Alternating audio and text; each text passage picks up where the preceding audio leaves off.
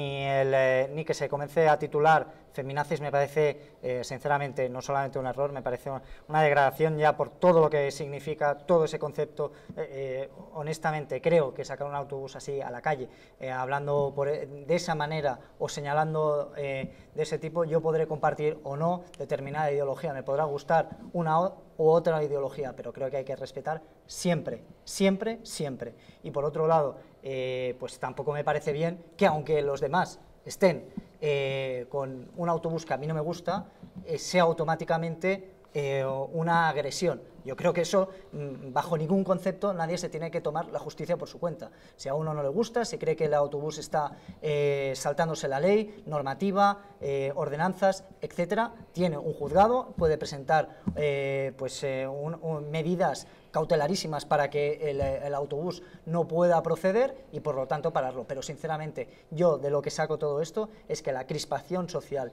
y la forma que se tienen, eh, sinceramente a mí me aleja de lo que realmente tendríamos que estar discutiendo, que es cómo eh, frenar todo lo que sería la violencia, todo lo que sería la discriminación, etcétera, que creo que es para lo que tendríamos que estar y no simplemente ideología de ahora estos contra los otros. Creo que tenemos un problema delante y encima de la mesa, el cual tenemos que resolver, pero la manera de hacerlo así, yo creo que por ambas partes es equivocada. Yo tengo una pregunta para ti. ¿Te parece bien que hombres y mujeres no sean iguales ante la ley? Yo lo que estoy diciendo es que... Es una respuesta de sí o no, no, necesita mucho hablar aquí. Bueno, contestaré como crea conveniente. No, no, pero... Gracias por decirme lo, que, lo que tengo que decir, pero lo que digo es que cuando real, a mí me encantaría, y lo he dicho aquí en más de una ocasión, me encantaría que pudiéramos hablar de una manera real de las cosas y cómo solucionar el problema. Sin embargo, con este tipo de eh, situación donde hay un extremo con el otro, yo ahí, sinceramente, hasta que las, hasta que la, hasta que las formas